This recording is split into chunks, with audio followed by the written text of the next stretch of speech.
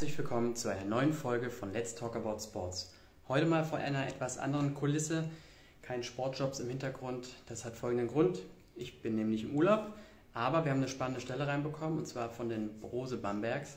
Die äh, bieten ein duales Studium im Bereich Sport Business Management, kann ein Bachelor oder auch Master sein. Und die machen das in Kombination mit äh, Kim Sports Management und da sind wir ganz froh, dass wir äh, einen Ansprechpartner von Kim Sports Management haben, mit dem wir heute über die Stelle sprechen können. Und zwar sprechen wir mit der Julia. Sie ist die Leiterin von Kim Alumni und vom realen Studium bei Kim Sports Management. Und wir wollen mal schauen, ob wir die Julia schon mit dazu nehmen können direkt.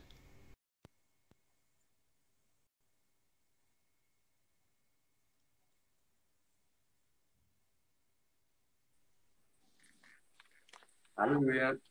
Hallo Stefan, ich hoffe, du kannst mich hören. Ich höre dich gut, sehe dich gut. Hörst du mich auch gut und siehst du Ja, mich? klappt alles.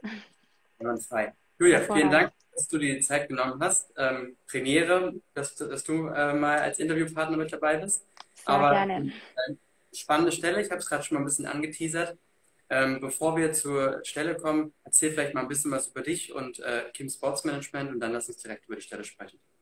Sehr gerne. Also ich bin die Julia von Kim Sports Management und ja, für alle, die uns noch nicht kennen, wir sind eigentlich eine Marken- und Trendagentur aus äh, München und entwickeln und betreuen die ähm, Marken von ähm, Sportvereinen aus ja, den unterschiedlichsten Lig ähm, Ligen, von der ersten bis vierten Liga, ähm, aus den allen großen, größten ähm, Teamsportarten, sei es Fußball, Basketball, Eishockey, Handball und haben da mittlerweile, ja, uns gibt es mittlerweile seit knapp 15 Jahren und haben da schon eben ein riesen Netzwerk. Und eine Sparte von uns, ähm, neben der Markenentwicklung und dem Marketing von Sportvereinen, ist eben das triale Studium, das es jetzt mittlerweile seit ähm, ja, fünf Jahren gibt. Und ähm, es ist eben ein duales Studium mit einem dritten Part und das sind eben wir, Kim Sports Management. Und ja, und davon bin ich ähm, genau die Leitung und bin eben ganz nah an den Studenten dran, betreue die Studenten und ja, so viel zu mir und zu Kim. Cool, spannend. Über den dritten Part, also über euch, können wir später noch ein bisschen im Mhm. Detail sprechen. Ja. Lass uns doch mal äh, kurz über Rose Bamberg sprechen und über die Stelle, nämlich ein duales Studium im Bereich Sport Business Management. Wenn ich es richtig verstanden habe, kann es sogar Bachelor oder Master sein, also können sich alle im Prinzip bewerben. Ist das richtig? Genau richtig. Also Bachelor oder Master. Und je nachdem ähm, würde das im Studium dann zweieinhalb oder dreieinhalb Jahre dauern. Und ja, es, die Stelle freut mich persönlich ganz, ganz ähm, besonders, weil ich ähm, sehr Basketball verrückt bin und das auch in meiner Heimat Bamberg äh, ist. Und ja, Brose Bamberg, wer sich im Sport auskennt, gehört ja zu den Traditionsclub im Basketball und ja, war in den letzten zehn Jahren hat Bamberg auch zu den erfolgreichsten Mannschaften gehört, haben ja neun deutsche Meisterschaften, sechs Pokalsiege errungen und ja, Bamberg ist einfach eine total basketballverrückte Stadt mit ganz viel Leidenschaft. Ähm, und die Stelle, ähm, wie du schon ähm, angeteasert hast, ähm, ist im Bereich ähm, Merchandise und Ticketing Mhm. und ähm, ist dann eben verbunden mit einem Studium im Sportbusiness Management, ähm, genau an einer dualen Partnerhochschule. Und ja, zusammenfassend, was es für eine Stelle ist, ähm, man, ähm, das Ziel ist der Stelle, dass man schafft, dass ähm, ja, die Leute ins Stadion gehen, dass die Leute Bock haben, ein tolles ähm, Basketballspiel zu erleben. Ähm, dann soll man die Nähe zu den Fans aufbauen durch den Merch. Ähm, ja, so grob zur Stelle. Und ähm, also für alle, die sich parallel vielleicht die Stelle mal anschauen wollen, wir haben sie auf unserer Website www.jobsimsport.de nochmal nach ganz oben gestellt, kann man sich gerne parallel die Stelle mal anschauen. Ähm, was sollte man mitbringen, wenn man sich dafür bewerben will, Julia? Ganz wichtig, man soll motiviert ähm, sein. Man soll Bock auf den Sport haben, schon eine gewisse Affinität auf jeden Fall auch zum Basketball haben, zum Sport. Ähm, man soll ähm, selbstständig arbeiten können. Ähm, ja, das sind so die groben ähm, ja, Kenntnisse, die man mitbringen sollte. Motivation, Lust auf Sport, ja. Da haben tatsächlich ein paar Fragen reinbekommen, die würde ich vielleicht mal Mhm. kurz stellen. Und Sehr zwar gerne. war eine Frage, äh, wie äh, ähm, sehr, also muss man äh, aktiver Basketballer sein oder reicht eine, äh, ähm, eine Affinität, eine Sportaffinität aus? Also man muss nicht aktiver Basketballspieler sein. Es reicht auf jeden Fall eine Affinität aus. Und ich glaube, wenn man dann auch diese Affinität hat, dann ähm, ja, beschäftigt man sich ja automatisch mit dem Sport und kennt sich dann eben auch aus. Und durch eben die Arbeit dann auch im Verein, ähm, ja, auch wenn man jetzt kein aktiver Basketballspieler ist, dann bekommt man automatisch auch mit, wie der ganze Sport und die Strukturen dann im Basketball ähm, funktionieren. Absolut, ja. Ähm, braucht man ein NC, um äh, dieses Studium, ist ja ein duales Studium, also Arbeiten mhm. und äh, Studieren, braucht man mhm. dafür einen gewissen Abschluss beim Abi? Ähm, nein, da gibt es kein NC, man braucht keine bestimmte Note. Man benötigt nur eine gewisse, also je nachdem, wenn man jetzt im Master zum Beispiel beginnt, braucht man eine gewisse Anzahl von Credit Points in wirtschaftswissenschaftlichen Fächern, aber selbst wenn man die nicht hätte, könnte man das dann noch mit Kursen vorab nachholen. Also ist gar kein Problem. Okay, cool. Das ist ja dann nämlich auch unter anderem dein Part. Wenn jetzt jemand eine Frage hat, hey, ich habe folgenden Bachelor, möchte jetzt gerne einen Master machen, bin ich dafür geeignet? Äh, was mhm. muss ich dafür? Da genau, richtig. Genau, also wirklich jederzeit sehr gerne da an uns bzw. mich wenden und wir betreuen euch dann eben auch in den ganzen universitären Themen, sei es Uni-Anmeldung, sei es bei Studienplänen, sei es eben bei Fragen, ob man noch irgendwelche Kurse benötigt. Da sind wir dann auch unterstützend tätig. Cool. Ähm, und dann noch eine Frage, ähm, was den Einstieg betrifft. Ähm, wir haben ja den 8.8. als Bewerbungsfrist, weil es ja, ich glaube, demnächst auch losgehen soll. Mhm. Ähm, jemand hatte eine Frage, er würde gerne im halben Jahr beginnen. Ge geht das auch? Also bei der Stelle tatsächlich ähm, leider nicht, ähm, weil ähm, Bamberg so schnell wie möglich jemand benötigt. Ähm, gewünscht ist eben so der erste Neunte, ähm, so grob. Und deswegen in einem halben Jahr wäre es leider zu spät, weil eben gerade jetzt jemand ähm, benötigt wird. Oh ja, klar. Also neue Saison äh, steht äh, an und dann. Genau. Das ist, glaube ich, auch mit das Coole äh, an, dem, an der Stelle, dass man von Anfang an mittendrin ist. Ne? Ein Stück weit auch wahrscheinlich ins kalte Wasser geworfen wird, aber das sind ja oftmals die Situationen, wo man rückblickend auch sagt, das war genau das, was ich gebraucht habe, weil ich gar nicht großartig ähm, die Zeit hatte, darüber nachzudenken, sondern einfach gemacht habe. Und da hat man, glaube ich, auch mit die, die, den größten Lerneffekt. Richtig. Und ähm, ja, Bamberg ähm, ist zwar ein Profisportclub, aber trotzdem von den Strukturen her wäre das dann eben auch eine Stelle. Klar, man ist dann im Merchandise-Ticketing, das sind die Hauptaufgaben, aber man bekommt natürlich dann trotzdem noch ganz viel ähm, rundherum mit. Und das ist, glaube ich, auch total wertvoll, dass man dann auch in den anderen Sparten Einblick bekommt und dann eben so eine ganz breite ähm, Ausbildung am Ende hat. Und vor allem eben in Bamberg ist es auch wirklich so, man ist ganz nah an den Fans ähm, dran. Und ja, die Stadt hat also knapp 80.000 Einwohner, also trotzdem relativ gemütlich alles. Und wenn man zum Beispiel auch während den Playoffs durch die Stadt geht, ähm, das heißt dann ja auch immer die Red Wall oder Freak City, also man spürt dann wirklich die, diese pulsierende Leidenschaft für den Sport oder man sieht auch mal den Spieler durch die Stadt laufen mittags oder so. Also ähm, man ist da wirklich sehr nah an dem ganzen Sport dran. Und das ist, glaube ich, auch ähm, nochmal was sehr Außergewöhnliches und Besonderes an der Stelle und an dem Verein auch von Bamberg, ja. Cool. Ja, kannst du ja dann als Bamberger Aushängeschild ja auch persönlich äh, davon berichten, von dem her. Äh, ähm, cool. Ähm, angenommen, man möchte sich bewerben und äh, ähm, schickt seine Unterlagen bei euch ab. Wie geht es dann weiter? Wie läuft so ein Bewerbungsverfahren bei euch ab? Mhm.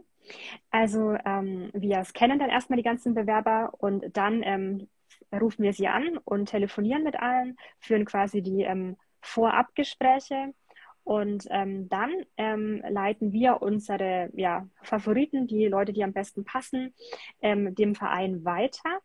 Ähm, und der Verein ähm, genau entscheidet dann eben final, wen er denn kennenlernen möchte. Und dann jetzt im konkreten Fall Bamberg ist es jetzt auch so, dass der Bewerbertag sehr zeitnah schon stattfindet. Da steht tatsächlich schon fest, das kann ich auch gerne schon sagen. Das ist dann der 16.8. An dem Tag finden dann die ähm, ganzen Bewerbungsgespräche statt. Und danach wird dann auch sehr zeitnah entschieden, für wen sich der Verein dann eben ähm, ähm, ja, schieden hat. Insofern ähm, ist es auch so, dass man jetzt in dem Fall auch wirklich sehr zeitnah dann Bescheid bekommt, ähm, ja, ob man dann die Stelle letztendlich bekommt oder nicht. Ja. Das ist, glaube ich, auch immer interessant zu wissen, dass man einfach auch so einen transparenten Zeitablauf mhm. schon hat. Man weiß genau, woran man ist und auch vor allem, wann man äh, Bescheid bekommt. Ich glaube, das ist ähm, auch nicht so oft der Fall. Von daher ähm, toll, dass es dann bei euch so im Vorfeld schon so transparent dann auch verkündet wird. Und bei ähm, den Vorstellungsgesprächen sind dann eben auch ähm, also wir als Kim Sports Management dabei, also meistens Manuel, den ja auch schon viele kennen. Ähm, und ich bin dann auch bei den Bewerbungsgesprächen dabei und sind dann eben nochmal unterstützend, so als Bindeglied zwischen Verein und dem Studenten dann dabei. Du hast ja eingangs gesagt, ihr seid, äh, ihr nennt es auch triades Studium, äh, weil ihr als dritter Part mit dabei seid. Ähm, Manu, der hat es schon bei dem einen oder anderen Interview kundgetan, aber vielleicht für Leute, die jetzt zuschauen und die das bisher noch nicht gehört haben, kannst du vielleicht noch mal ein bisschen was dazu sagen, ähm, was ihr als, als, als dritter Part äh, da äh, noch für eine Rolle spielt. Mhm. Eingangs habe ich es ja schon ähm, gesagt. Also zum einen betreuen wir die Studenten auch in den ganzen universitären Themen ähm, sei es die Anmeldung, sei es bei Studienarbeiten. Dann ähm, coachen wir die Studenten auch in den verschiedensten Themen, sei es im Bereich Persönlichkeitsentwicklung, das ist auch ein wichtiger Part, aber natürlich auch im Bereich Know-how, was die Studenten in der tagtäglichen Arbeit im Verein ähm, ja, benötigen.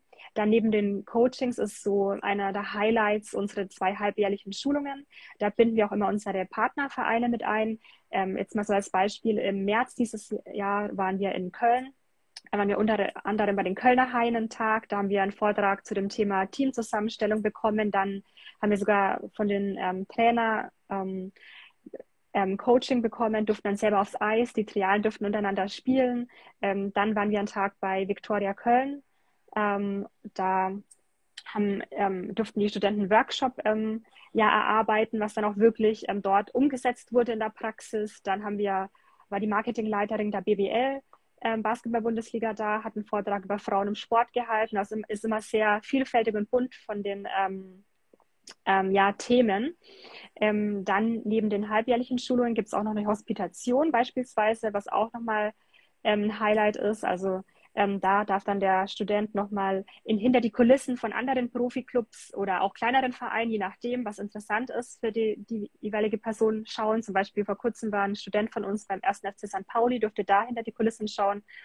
Ähm, ja, und was eben noch ein großer Punkt ist eben das Netzwerk. Also ähm, durch ähm, unser Netzwerk, ähm, wenn man dann Teil der Trialen ist, baut man sich dann als Student im Sport schon von Anfang an nachhaltiges Netzwerk, ein eigenes auf, was ja im Sport, wie jeder weiß, das A und O ist. Und ja, das sind so grob ähm, die Punkte des trialen Studiums. Aber es gibt auch noch ganz, ganz viel mehr, aber ich denke, das sind so die wichtigsten Eckpunkte und die Highlights, sage ich mal. Das mit dem Netzwerk kann ich übrigens nur bestätigen. Äh, machen ja diese Interviews schon einige Jahre mit euch und inzwischen ist der ein oder andere schon mit seinem Studium fertig und hat dann eine, eine Rolle im Sportbusiness bekommen und kam dann auch wiederum auf uns zu und hat gesagt, er hat damals äh, ähm, das Interview gesehen und jetzt ist er fertig und hat eine, äh, eine Vollzeitstelle und sucht jetzt selber Personal und ähm, ist eben dank Kim Sports Management dort reingekommen. Also das ist, das ist schon äh, stark, muss man echt sagen, ähm, was, was für Netzwerk ihr da ähm, jungen Leuten mit ins Sportbusiness-Leben mitgebt quasi. Ja? Also ähm, Respekt, was ihr euch aufgebaut habt und ist sicherlich ähm, für alle, die dich äh, mit, der, mit dem Gedanken spielen, ähm, so ein duales Studium zu machen, sollte sicherlich ein, auch ein entscheidender Grund sein, weil es gibt ja momentan unglaublich viele Möglichkeiten, auch ein duales Studium, auch im Sport zu betreiben. Aber ich glaube, das ist nochmal was, was sich ein Stück weit abhebt von anderen und ähm, weshalb man da tatsächlich darüber nachdenken sollte, das bei euch vielleicht zu machen. Ja, vielleicht nochmal ganz kurz äh, zur, zur Stelle selber. Ich weiß das ja ähm, von, von, von, den Klickraten und aber auch von, wenn man mit, äh, mit Abonnenten von uns äh, spricht. Ähm, die meisten äh, achten auf Sportmarketing oder Sportmanagement oder Sportsponsoring. Und beim Ticketing und Merchandise klingt erstmal in erster Linie für, für viele von vornherein nicht ganz so sexy vielleicht. Aber man muss sagen, ähm, wir ähm, kriegen das auch von vielen äh, Bundesligisten mit, dass im ähm, Ticketing, Vollzeitstellen und auch im Merchandise, dass die Stellen mit Abstand äh, am längsten brauchen, um zu besetzt zu werden, weil es einfach in dem Bereich viel zu wenig Personal gibt. Das sind unglaublich wichtige äh, Positionen. Ticketing wird digitalisiert, Merchandise ebenfalls. Und ähm, es gibt ganz wenige Leute, die sich auf die doch verhältnismäßig vielen Stellen bewerben, was äh, es für, für, zum Bereich macht, der, glaube ich, unglaublich spannend werden kann. Und vor allem auch äh, haben die dualen Studenten, die das jetzt mit euch zusammen äh, machen, die Möglichkeit, dort einer von wenigen zu sein und vielleicht auch wirklich eine gute Karriere äh, einzuschlagen. Von daher sollte man vielleicht das ein oder andere Mal über den Tellerrand schauen und auch vielleicht sich Stellen genauer anschauen, die, wo man vielleicht auf den ersten Blick sagt, klingt für mich jetzt gar nicht so spannend. Ja, definitiv kann ich nur unterstreichen, ja. Julia, dann bedanke ich mich äh, bei dir, dass du dir die Zeit genommen hast und Ja, ähm, sehr drücke, gerne. Drücken euch die Daumen, dass ihr da weiterhin äh, gute Bewerber und Bewerberinnen bekommt. Ähm, wenn noch Fragen reinkommen sollen, können Sie sich gerne jederzeit an dich wenden, oder? Ja, jederzeit sehr gerne. Einfach über Social Media, über E-Mail, ganz egal. Jederzeit gerne. Perfekt, Julia. Dann Dann herzlichen Dank auch für deine Zeit. gerne, gerne und dann wünsche ich dir noch einen guten Start in den Tag heute. Dankeschön. Tschüss. Bis dann. Ciao.